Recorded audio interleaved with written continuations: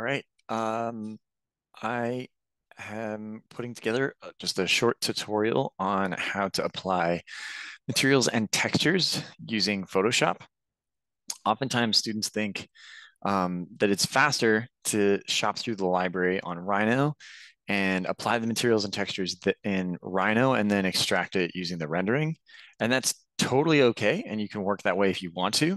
Um, but I am I'm going to introduce a second route, which I think um, gives a little bit more control and also um, doesn't put all the eggs in one basket. And so that's going to use Photoshop and a black and white rendering um, from Rhino. The other advantage to this is that uh, in terms of time, um, getting black and white shaded renderings out of Rhino, or even getting um, a black and white shaded rendering and then one with the sun maybe around the golden hour or um, with shadow information is really fast to get in Rhino, whereas high quality renderings take a while for the uh, rendering software to run through and depends on the speed of your computer. Whereas a Photoshop file, um, once you have a library, uh, you can um, build out um, a vignette or even several options with a lot more speed.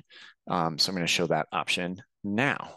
So we're going to share screen and um, I have been doing some work already where um, where you guys should be able to see that uh, i have been shopping around for some trees and some other things. Um, and what this looks like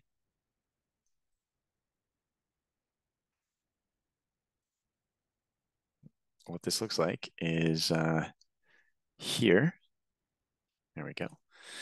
Um, so I've organized some of my files and some of these I have used previously. So I have some uh, files of staircases that I was using um, just because I wanted to drop in a staircase to a model just as a test before I started modeling it. Um, here I have tufts of grass, I have trees, um, I have some scale figures, I have uh, trees changing color, I have some more grass, and this is key because this grass is taken with its um, in silhouette and so it's against a, uh, a, more plain background, which will allow me to extract this. Even if I don't want a wintertime shot, even if I want to add green, at the very least, will be easier for me to select later. Um, so now we're just going to share over to Photoshop. And this should share to this screen. All right. And you can see that what I have here is um, Soleil has uh, volunteered uh, her project, and I also have this one from Tiago. They both have Sunset Cabin, and I'm gonna be using these to um, apply some textures and color. All right, um, so I have some stuff already parked over here to show you that um, if you've already done the work of cutting some things out, you can move those over. So uh, this this one right here is that I already have done the work of cutting out these kind of fall color uh, trees right here. So what I can do is I can grab those trees out of that Photoshop file and just move them right over to here and drop them in. I'll do a little thinking and there are those trees and uh, and I can even kind of adjust these a little bit and already start to have them in there in the file. Um, as a matter of fact, I could put them behind this um, tree right here. Let's just do a little quick little movement and uh, mirror them. Uh, there we go, this direction. Make that group of trees smaller. And we're just gonna kind of place them in there. Uh, and I'm gonna show you how we're gonna um, put them behind in just a little bit. So I'm gonna turn those off. And I'm going to open just a few more of these files that I already have open. So I was looking at some, I was looking for some weeds against backgrounds earlier, and I was looking for some wood decking. Um, this meets a lot of the needs that we have. It's a high quality image. I can zoom in. It's not until I get about here, it starts to get pixelated. So that's way smaller than I'll ever need it to be um, on the image. I'm just gonna, so I'm gonna grab this and copy it. I'm not going to drop it in. I'm going to grab this and I'm going to copy and paste. And when I paste it in, I want to add a name just because I know that, you know, I'm going to come away from this file, I'm going to work on it later, and I don't want to come in with layer one, layer two, layer three, layer five, layer 50. So we're just going to say wood texture number one.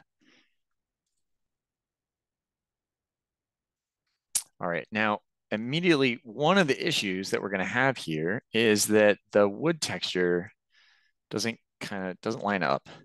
Um, so when I when I when I put this on here, um, it's not going to line up. And that, that probably doesn't make a lot of sense to you just yet. But I'm going to grab a different wood texture while we're at it from my library. So I've already gotten this other one, which I've just called large warm wood texture. Now, this doesn't have any, this has the grain and it has that nice warm wood texture to it, but it doesn't have any joints. Sometimes we want to have that sometimes you don't. Um, and so we've got two examples here. We're going to paste that in. And we're going to name this wood texture two, no joints. All right, and that's placed in there. All right. And then I'm going to do one more that's uh, concrete. So we're going to go back into here and we'll do concrete with a crack. So we've got we've got um, three different types of textures. One where there is a clear joint pattern, one where there's kind of a unique feature like this crack, and another one where there is really no directional features whatsoever. All right, we're gonna put that in there and we're gonna say it's concrete with the crack. All right, now I'm gonna start with the concrete so you guys can kind of see the concept of what we're doing. Um, the walls are not concrete, the floor is so that you can see what I'm doing, I'm gonna change the opacity here down. And what we're gonna do is we're gonna go up to uh, edit and transform. Now you can get here by just hitting control T on your computer. Um, and actually what I wanna do is a free transform. So that's control T. Um, other forms of transform would kind of move this around and change its shape. But the free transform, again, here, control T, I can grab this and kind of move it around wherever I want it to be. Uh, I can I can adjust this. Um, on newer newer versions of Adobe, the Control T will take you into a form that looks like this. So what you can see I'm doing right now is I'm just fitting that concrete to the perspective that the model is providing. And I'm going to hit enter. All right, and right now, uh, let me turn the opacity back up on that so you can see it. So you can see that clearly it's um it's kind of getting in the way, but it's got a believable kind of texture and perspective to it. Um, so I'm just gonna leave that there, and I'm gonna do the same thing on the wood textures now too. So I'm gonna turn this wood texture on. Make sure we've got that selected. I'm going to do a transform, edit, transform, and I'm going to uh, distort it here and kind of place it so that it fits the perspective.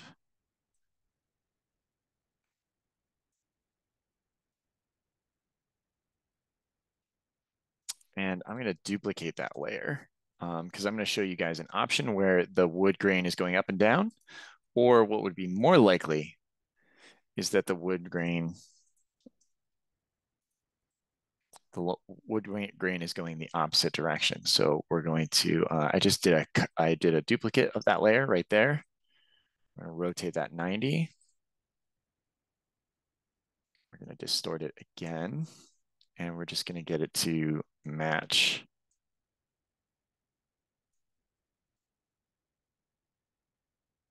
that size right there. Uh, we don't have to get it perfect You can always go back in and do some kind of micro adjustments. Hit enter there. And just switching back and forth between those, you think uh, this is going to give us kind of a more believable wood grain. And then we're going to turn those off and just get the other wood grain here.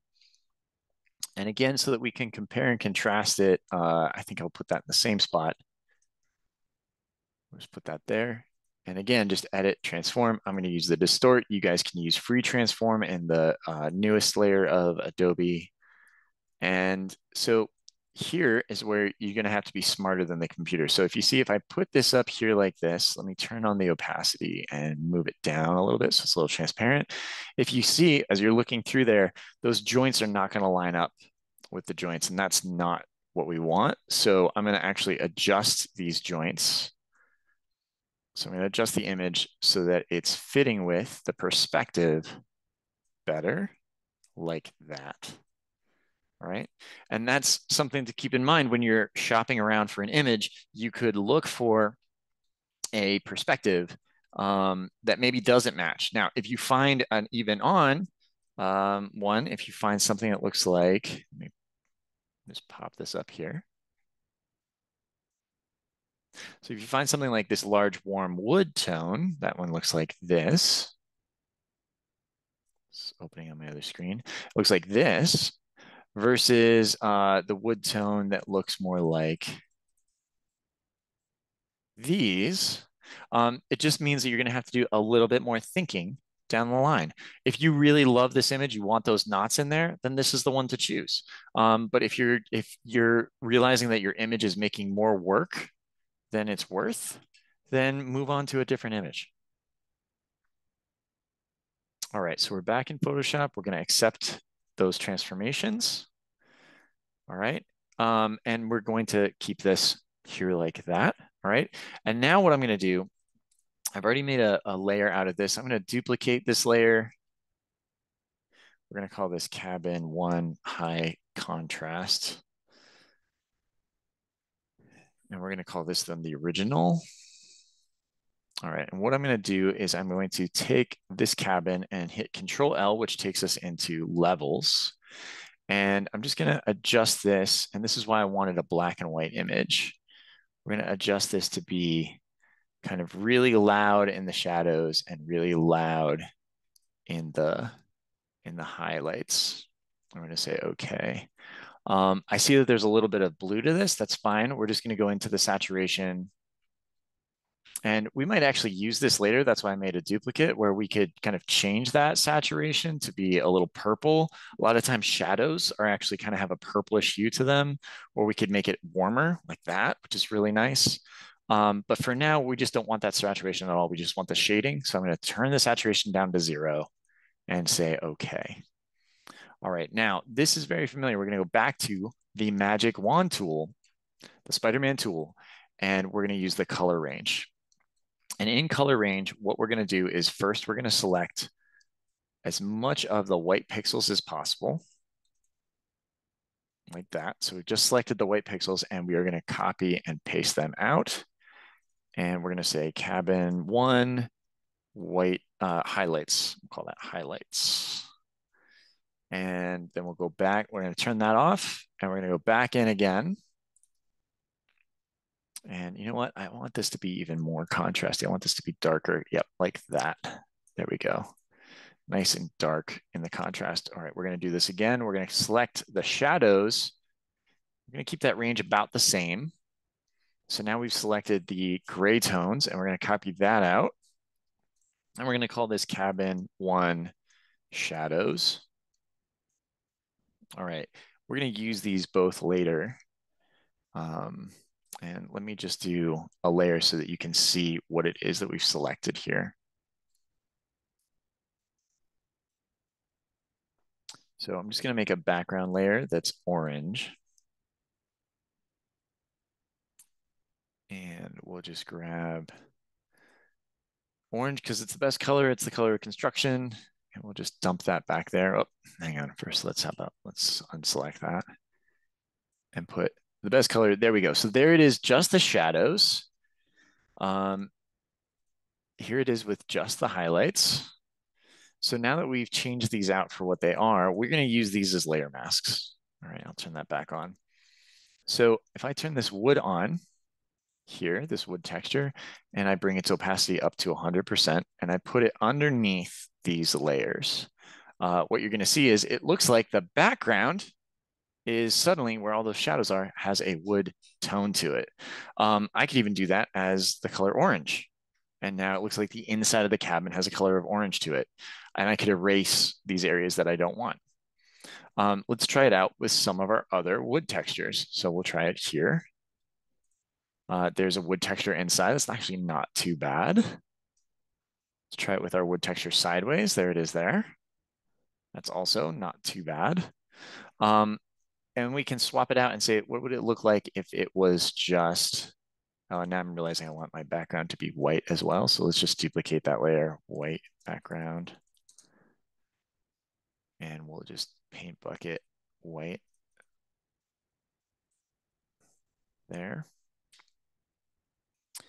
Um, so you can see that it's kind of showing through. Still not, it, there's adjustments that we need to do. I'm just looking at these textures.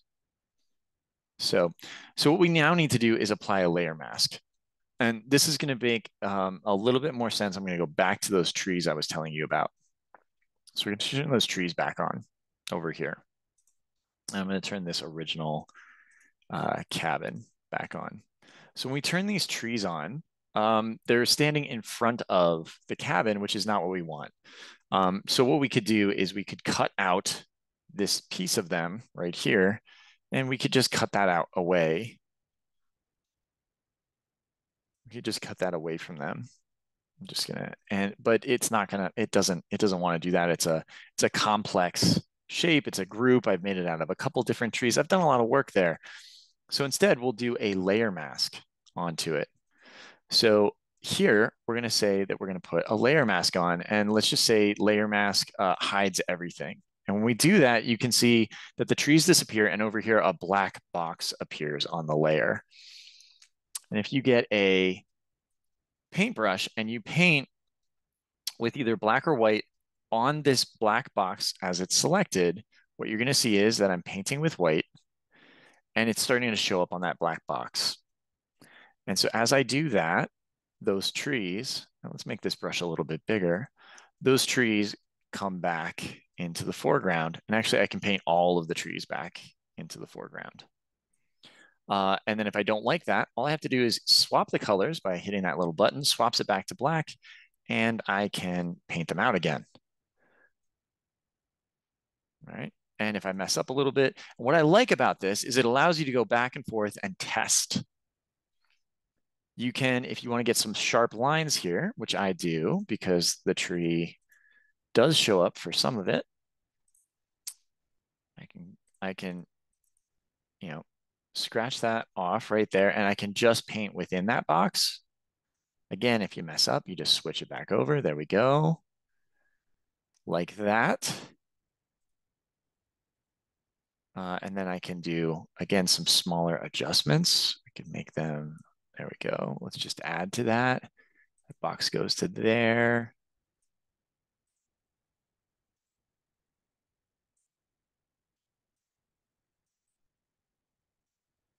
Trying to go too fast. There we go, double click, and then I'll just paint in that area. There we go, paint that out. And there we go the, the trees are there. Let's uh, bring their opacity back up to 100. And now it looks like the trees are behind and we immediately get depth. We immediately get dimension from that. Um, the nice thing about a layer mask, if we chose to delete this and cut them out, we can never go back. But since we made a layer mask, you'll see that this mask right here that is highlighted, means that I'm using it currently, is locked. That's what that chain means to that group, which is that folder. So that's the kind of programming sentence that we have there. Now, if we unchain them and you deselect the mask and you select the group, we can go to move and I can move the trees around and you'll see where that mask still is located, but I can adjust the trees and park them where I want them. So I can put them down and closer. I can put them up. I like them. I like them there. So, and then if I want to do this, I can chain it again. Now, what's really cool is I can grab that mask and I can duplicate it or make another one. And that's what we're about to do with this texture. So you can paint with the mask, but you can also do it through a selection. Let me show you what I mean. I'm going to turn those I'm going to turn those trees off now that you understand what a layer mask is. That'll protect me from uh, messing around with it. I'm going to turn the shadow back on here. And what I'm going to do is I'm going to use uh, the magic wand tool to do a color range and select all of the black pixels. And of course, we can do that by selecting these pixels and making it fuzzy, but that means I only select some of the pixels, or I can select the white pixels, make it really fuzzy, right click and select inverse. And like I'm fond of telling you guys in class, I always do this wrong the first time. Um, and that's fine because trial and error, this is all about trial and error. And what I'm going to do now is I'm actually going to turn off that layer and turn on the wood layer that I want to use right here. So now I have this selection and I have I have this selection from a different layer and I have this texture from this layer. I'm going to move to this layer and make it active. I'm going to say layer, layer mask, and we can say reveal selection or hide selection. Remember, I always do this backwards. So let's say reveal selection. There we go. Uh, so I've made a very complex layer mask and you can see that it's right there. And just like I always do, I did it backwards. So we're just gonna hit undo, control Z, and layer mask, uh, hide selection. There we go. So there's the hidden selection. Can turn this on behind it. And what you can see here is that these pieces on the mask are showing through as if they're wood. Now, it's not done yet. Let's do a little bit of, let's, let's do a little bit of cleanup, right? Uh, first of all, I want to turn those trees back on because they make me happy. And then I actually want to go in here because I want this texture on just those boards. I don't want the texture on the inside pieces here. Uh, I don't want it here. So I'm going to cut this out and um, and then you can see there's it's I got this kind of a little bit not correct. So I'm going to cut this piece out here all the way back. And I'm just holding down the shift, which allows me to add to my selection tools. So I'm going to grab this piece down here that's too low. And this is key. We're not going to select the layer. We're going to select the layer mask. We're going to grab the paintbrush. We're going to just paint that out. We're going to paint those out. I'm gonna paint this out.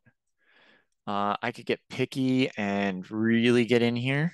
Uh, and I could zoom in and just kind of grab these really quick if I wanted to. Uh, I'm just gonna grab this big one for now, but I think you guys understand the point of what it is that I'm doing. I'm also gonna show you how it might not matter for me to get all of those details. Um, and then there's an edge, there's a corner right here. I wanna get that too. All right, so we're gonna grab that piece down to that corner and over and paint that out as well. Now, there we go. We've got one of those selected. Oh, and I want to get this too, don't I? Right here. Again, a little bit messy, not my best work. Okay, there we go. So we've got that edge. Now check this out here is uh, oh, two layers at the same time. That's kind of a bad moiré pattern. Um, if we grab this layer mask and move it down to here, check this out. We can move it and now it affects that layer and we can see how it's arranged with the vertical grain. Definitely like it with the horizontal grain better. Uh, let's try it out with this one. So we can put it down and you can see the layer mask isn't working up top here, not working down at the bottom, but it's working in the middle. And the other problem that you can see, and this is what this is what happens in Photoshop, but it actually happens even worse in Rhino, is where you bring in a texture and it's not at the right scale. And, and this doesn't, this makes sense because look at this, the scale of that board is way larger. Um, so there's, it just doesn't work with each other. So when we put it together, it looks wrong. And in Rhino, you need to go into the settings deeper and adjust what's called the U and the V. But here we can just scale it with our eye using transform. And when you're working quickly and you're doing an output like this, once you've done the work of making the mask, swapping any of these images in and out becomes relatively easy. So I'm going to say that I like this one and we're going to choose to continue with this. And we could actually, we could continue that with all of these. Um, so let's see what else we can do in terms of um, getting some tones. I kind of liked that orange in the background of the uh, shaded tone back here. Let's see if we could get that orange into the background. So if I grab these images right here, I'm gonna grab this, all this concrete, and we're just gonna make it a color back into that floor back there, grab this piece. And since we're mostly orthogonal shapes, cutting around these, it's not that bad. Uh, I could go back here, grab this up to here.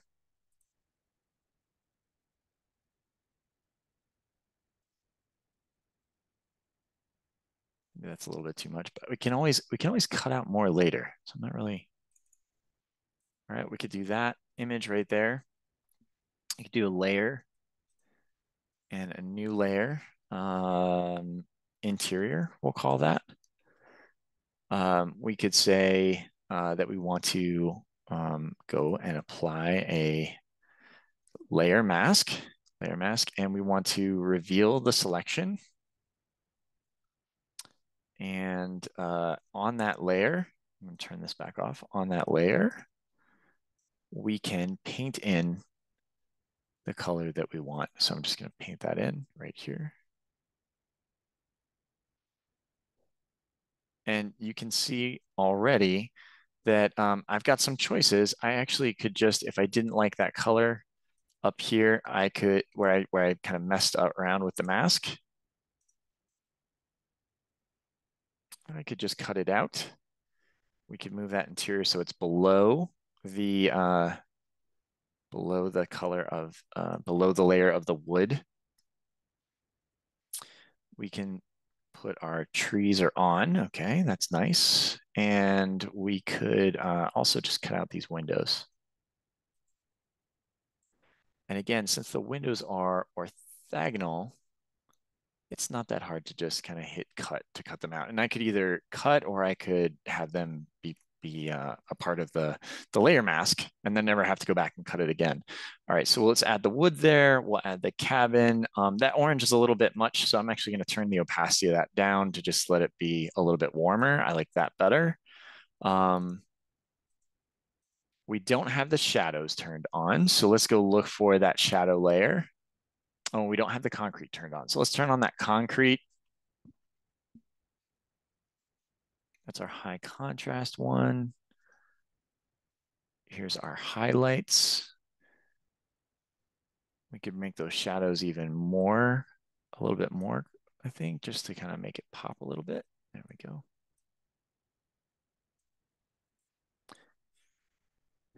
And so now I think you guys see what we're doing with the cracked concrete there. We could uh, we could just cut out that cracked concrete, but before I do that, let me show you another way that we could deal with the concrete texture. Turn that off and we're gonna go back to the concrete here. All right. Uh, so one of those ways that we can bring it in and do a layer mask, the other is that we can do, we can actually do what Rhino is doing in its um, file, which is creating uh, a texture file or what is called a bump map. And First, to do that, I want to make this, this is already pretty high contrast, but I want to make it a little bit more high contrast so I really get that texture. Um, you see how there's some color artifacts in there? I'm actually going to move it to black and white. So we're going to go in here to adjustments, saturation, take the saturation out of it so it's purely black and white. And then we're going to use the magic wand to do color range again, and we're going to select the dark gray, not just the pure black, but the, the dark gray. Make that fuzzy. And we're gonna control and cut that away. And what that should look like when we go back to our uh, example, that is not our example, this example, and paste it in, uh, what you see is we get a little bit of a texture there.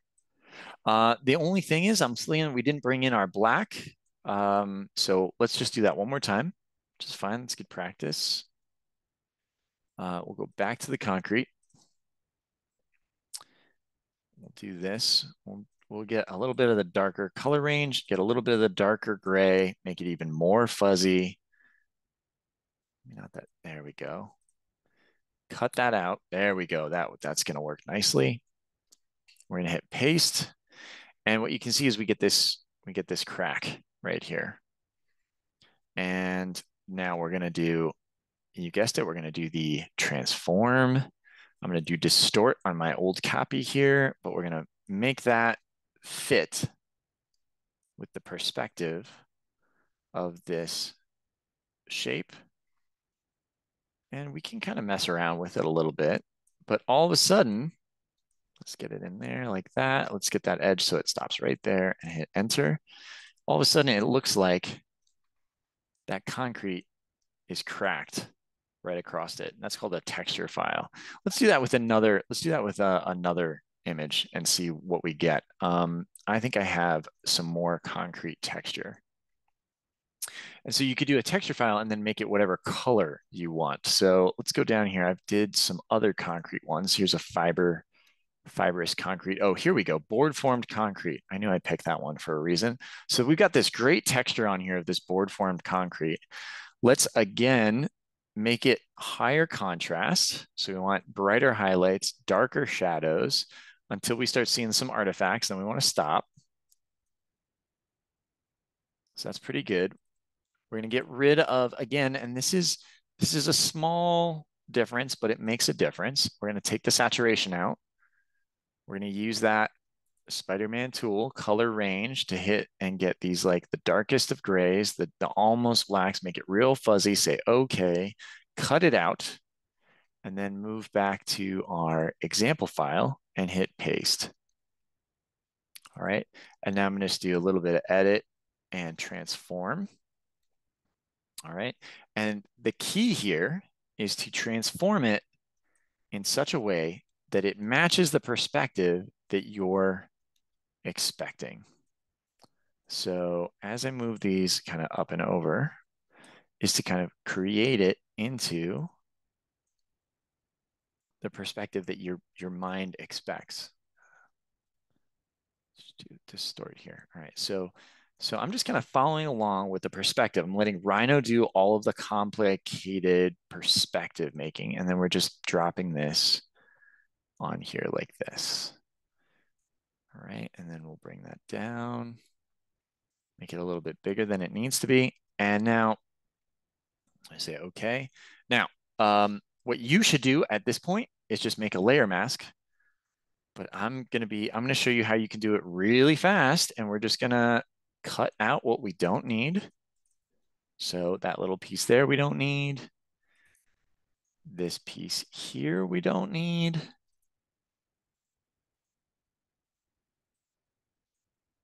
Down there, over to here, and back. Cut it out, and there it is. Now, what's really interesting, we need to do this concrete texture boards.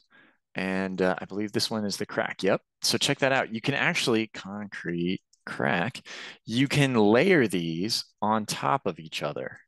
So you can actually make different ones on top of each other. Now, since I uh, already have that board form over here, uh, we could back up, not that one. Let's not save that file. We could back up. Let's open our history. And here's our history. We're going to grab those same colored pixels, copy, go back here, hit paste, and I could uh, I could transform. We can turn it, edit, transform. Uh, that was distort that we were doing. Move this down. Move this all the way down to here. Move this all the way down to here.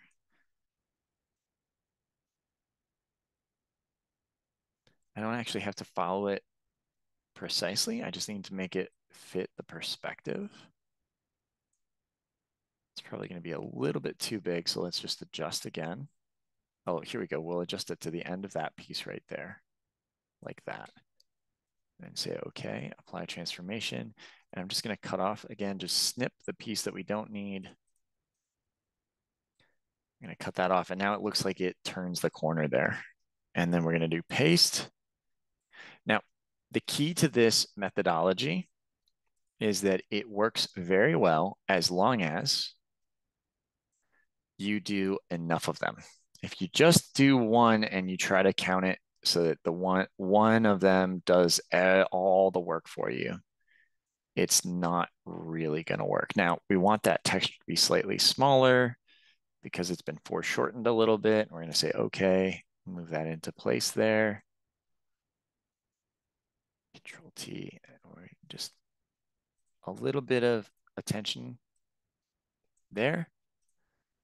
Apply that transformation. All right, we're going to cut this piece off again. And your eye likes patterns, but it doesn't like patterns that it knows are just repeating like rubber stamps. So what's happening here, edit, transform, distort, what we're doing is that we're, because it's expecting that this should get smaller the further it gets away from us, which is a little bit of what I'm doing here. And then we're gonna snip it again.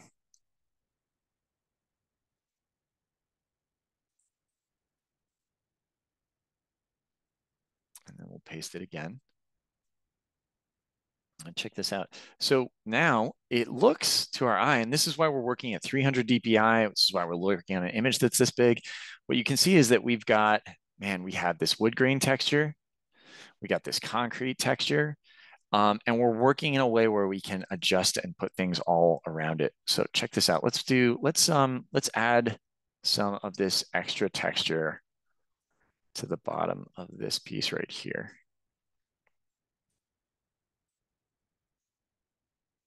Right, like that. Say okay. When we zoom in, um, you can see that some of the shadows aren't working very well. So what we're going to do is we're just going to do levels again excuse me, we're gonna up the darkness even more.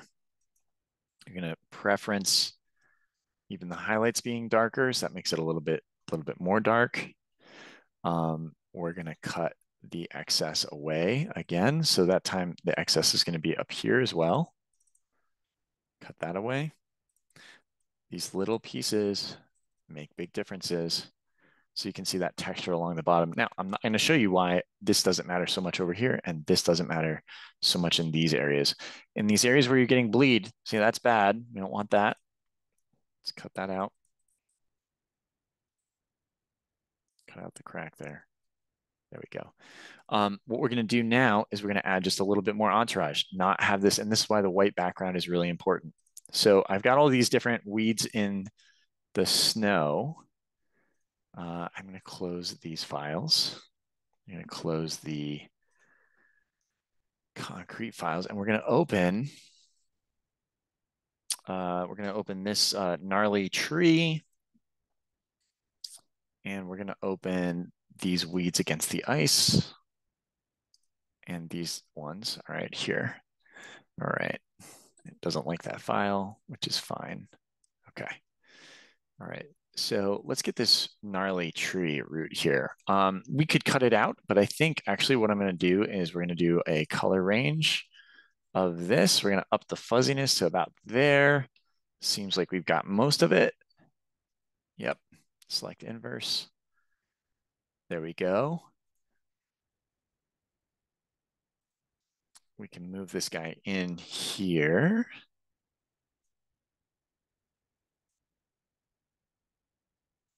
like that. And all right. Now we know from our prior experience that having these sharp edges really kind of breaks the, the belief for us. So what we're gonna do is we're going to chop into it a little bit. And we're gonna make a layer mask out of it. So we're gonna say uh, image layer, no, layer, layer mask uh, hide selection. There we go. And then we're going to do it again over here. Allow it to show us this piece of funkiness right here. And we're going to say, uh, let's see if it'll add to the layer mask. Nope. All right. So we're going to just paint, which is fine. So we'll paint this in here. Now, here's the cool thing about the layer mask. Now, like cutting that out would be a real pain. Um, but you can see there's some pieces here too. So if you do black and white, it is the effect of, uh, of erasing or um, erasing or uh, um, revealing. But if you do gray, so this is a layer mask with gray, it's the effect of having it be a little bit transparent. Now I'm gonna move both of these things around and we can plant this like over here. You know, and you can see that gray layer mask there. We can plant that there. Maybe that's a little bit too big. Make the whole thing smaller and the layer mask will go along with it. Hit enter. And then we can make any little adjustments that we want to make. Go back to black and white and do a little erasing there. Nudge it back in. Um, we could even kind of do a little underpainting. So let's just add a new layer and we could create our own shadow layer. Uh, let's name that layer, which is a crusty tree. And we'll put the shadow underneath that and we'll paint with black.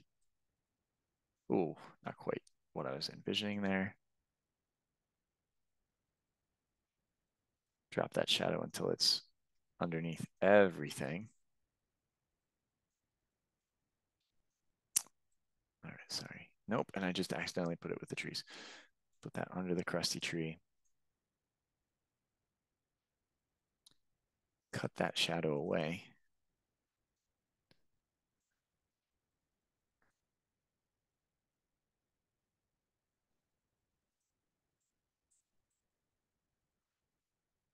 And then let's link this these two together so that they move as one and then just kind of put that in there. So that that tree now feels like it's kind of wrapping around that edge.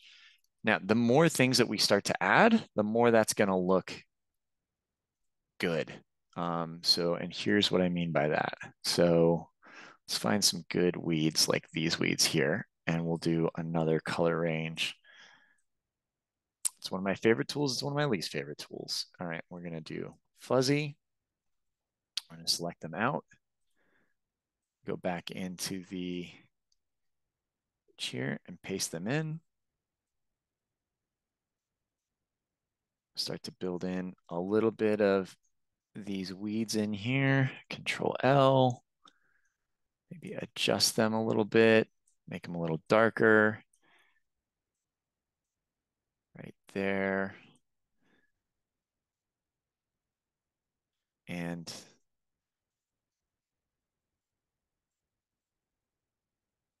erase out this square here the more that we add these layers. Now i'm the way that i'm modeling it right now you can literally see these layers and this is kind of my style which is this kind of collage style where you know that it's a collage but the layers of the collage kind of build up and tell the story. So i, I keep in some of the horizontals. You don't want lots of them. But the other way to do this would be to keep on layering pieces sometimes with pieces that have broken up um, edges so you start layering them onto each other. You have a drawing cover over this, or you have another piece that covers over top of this. If we had like Soleil's uh, image right now, and let's just kind of make it a little bit more black and white like this. And we did a color range and we grabbed mostly the shadows here and the gray. There we go. And we got most of that and we said, okay. And then we actually added the roof on here as well.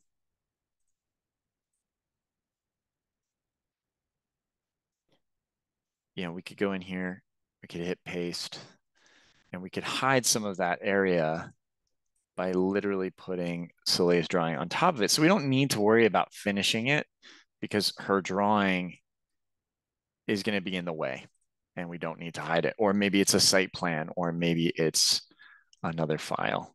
And you could start building out your story this way. Um, you could arrange it in Photoshop, but we could also do this in InDesign.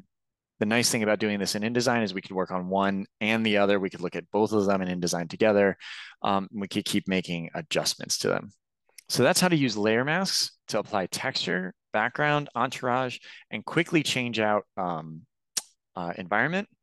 And if you give yourself time, uh, once you've once you've gotten these pieces, you can use them in future projects. So every time, every minute that you invest doing it now is a minute that you save yourself on a future project. So I hope that this tutorial has been helpful. We'll end it there.